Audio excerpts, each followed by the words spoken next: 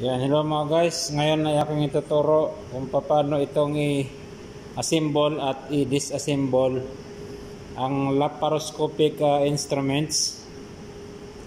At ituturo natin yung uh, proper assembling dito sa tray. Na ganito yan. Aking uh, ipa, ipapakita paano i-assemble. Okay, ito.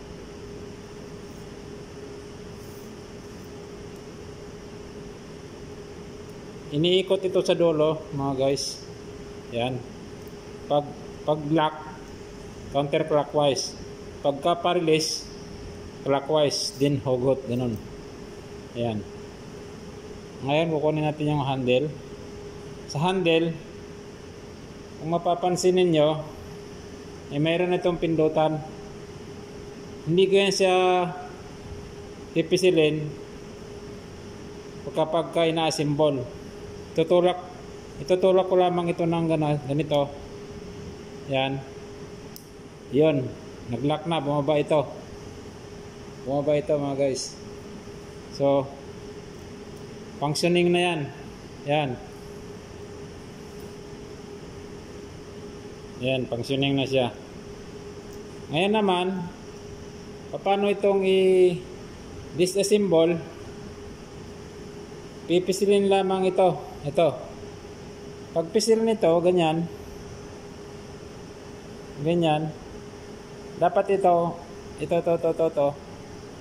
Nakaalalay lang kasi ang ganun. Magaan lang.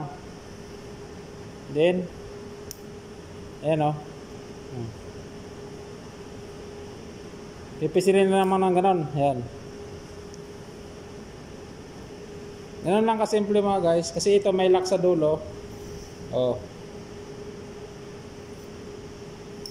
Then, itong isa, lumilipad kasi ito kapag uh, nilagay sa washer disinfector kaya kinakabit namin. Itong uh, tinatawag na suction cannula. Yan. Binabalik lamang ng ganon. Okay. Then, paano ang proper na pag-assemble? Isa-isa lamang natin itong ilalagay dito. Yan. Sa kanyang uh, tray. Isa natin paglagay. Yan.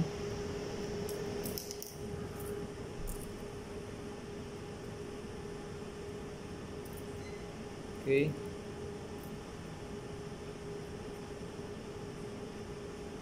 Yan ang proper uh, assembling ng laparoscopic instruments. Dapat naka-disassemble lahat para ma-sterilize ang lahat ng instruments. At doon na ito ina-assemble pagdating sa operating uh, theater. Ganyan lang. Uh, nga pala para sa mga baguhan itong aking pagtuturo sa mga eksperyensado na na sa SSD alam na nila ito. Ang purpose ng akin ng pagtuturo ay para sa mga beginners para hindi na masyadong mahirapan. Ayan mga guys. Then lagyan natin ng indicator